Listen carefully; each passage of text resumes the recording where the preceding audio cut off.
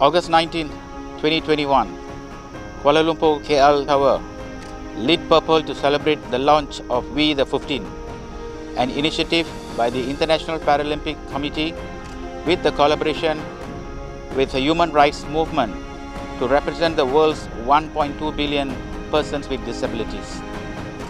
KL Tower was one of the over 115 iconic landmarks spanning multiple countries and time zones to light up the international color of disability, purple. The global light up was to celebrate the launch of We the 15, which aspires to be the biggest ever human rights movement to represent the world's 1.2 billion persons with disabilities.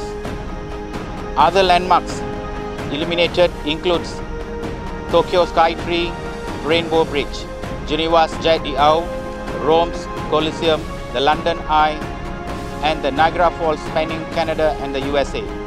Launched ahead of the Tokyo 2020 Paralympic Games, We the 15 aims to end discrimination towards persons with disabilities and act as a global movement publicly campaigning for disability, visibility, inclusion and accessibility.